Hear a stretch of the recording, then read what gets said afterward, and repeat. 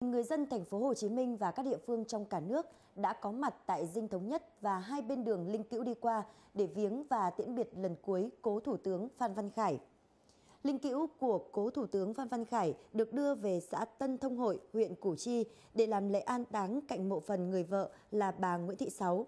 Theo ban tổ chức tang lễ, trong 5 ngày vừa qua đã có hơn 2.000 đoàn với khoảng 108.000 người đại diện các cơ quan, đoàn thể, đơn vị, lực lượng vũ trang, các tổ chức tôn giáo, ngoại giao đã đến viếng linh cữu nguyên Thủ tướng Phan Văn Khải. Trong đó có 231 đoàn ngoại giao và tổ chức quốc tế. Nhiều lãnh đạo đảng, nhà nước đã đến chia buồn cùng nhân dân, gia đình nguyên Thủ tướng Phan Văn Khải.